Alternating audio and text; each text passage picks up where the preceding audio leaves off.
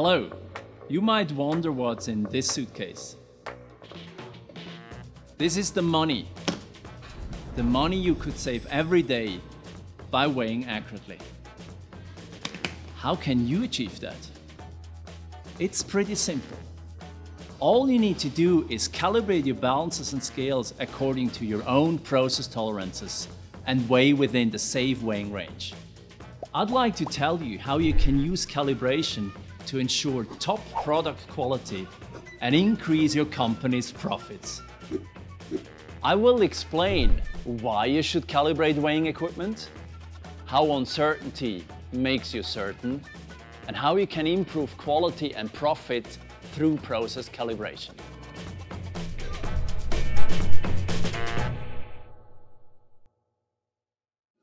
Klaus, you're an expert in metrology. Can you tell us what is calibration? Quite simple. Calibration tells you how a balance or scale performs. And why is that important?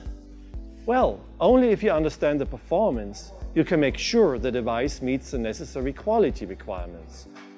Or in other words, only after calibration, you know whether your measurements are sufficiently accurate.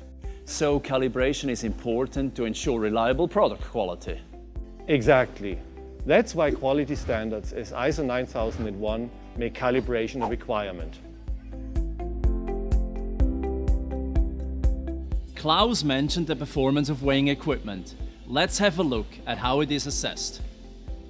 The performance of your weighing equipment is influenced by two types of errors.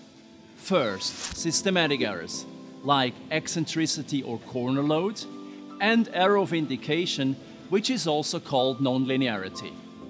A systematic error shows you how far from the true value your result is. The second type is random errors, which is assessed by testing repeatability to tell you how close together a series of measurements is. This is also called precision. To assess the performance of a weighing device, all three parameters should be tested. Klaus, once a proper calibration has been performed, how does it help the user to guarantee good product quality?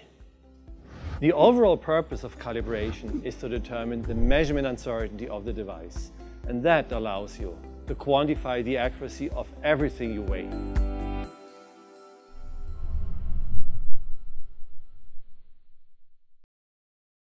Measurement uncertainty is the key phrase here. Let's discuss what it really means. Uncertainty is all around us when dealing with the stock market, with the weather forecast, in physics, and with measuring. Uncertainty tells you how close to the true value a measurement is. It tells you how accurately you can weigh.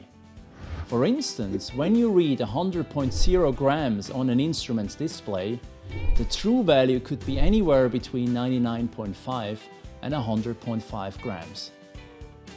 No measurement is complete without knowing the measurement uncertainty.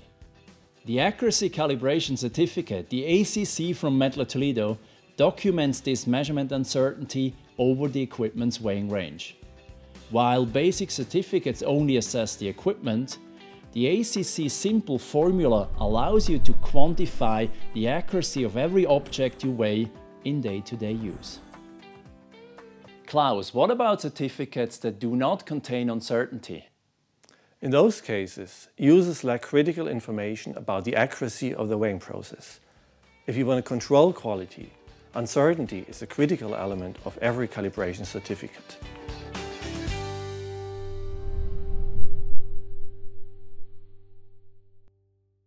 Finally, let's look at how to interpret calibration results and turn this information into profit. Any weighing device, be it a microbalance or a 5-ton floor scale, shows the following behavior of measurement uncertainty. The absolute uncertainty in milligram, gram or kilogram increases as you place more weight on a scale. However, the relative uncertainty which is the absolute uncertainty divided by the weight, increases with smaller weights. On the lower end of the weighing range, the uncertainty is so high that you cannot trust the weighing results. Would you accept a material weighed with an uncertainty of plus minus 10, 50, or 100%? What would be the impact on your quality and cost?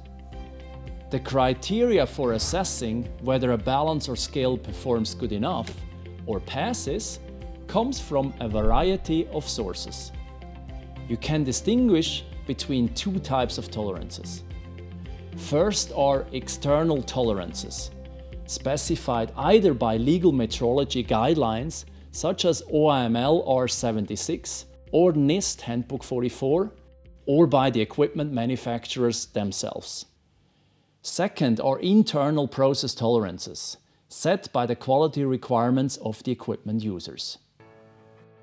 OIML or Handbook 44 define maximum permissible errors for scales that are used in commercial transactions. However, their legal tolerances do not consider your individual requirements for high quality. Process weighing tolerances, on the other hand, are defined by you to meet your specific process and quality requirements.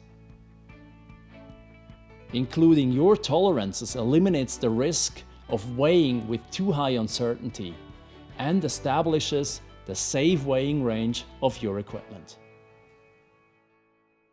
Weighing inside the red area leads to potential out of specification results, bad product quality, rework and waste. On the other hand, when you weigh within the safe weighing range, you ensure accurate measurements and guarantee excellent product quality. Calibration according to your process tolerances is an essential part of good weighing practice. GWP also provides you with clear advice how often you should calibrate and test your weighing equipment. Finally, let's go back to our suitcase of money and consider an example. A company fills 200 liter drums of chemicals on a 300 kilogram class 3 approved floor scale. Calibrating and operating this scale within OIML or Handbook 44 tolerances means that the allowable in-service error is 0.3 kilogram. What is the product value behind this weighing error that might be lost? The company fills 100 drums a day with a chemical worth $50 per kilo. This corresponds to a loss of $1,500 per day,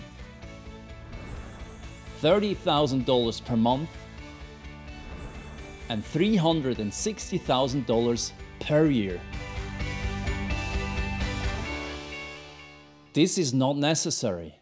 By defining their own tighter process weighing tolerances, this company was able to optimize their process so that each filling cycle produced only profitable drums.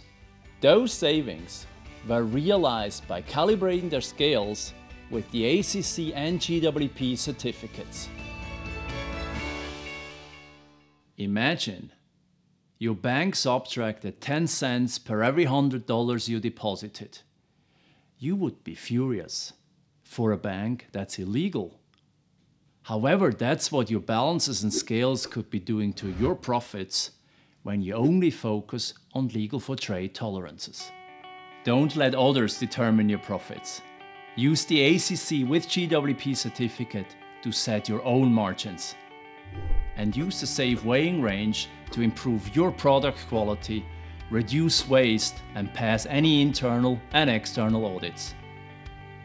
The ACC is the first calibration service that is globally available for all weighing equipment. Turn quality improvements into profits. Call Mettler Toledo.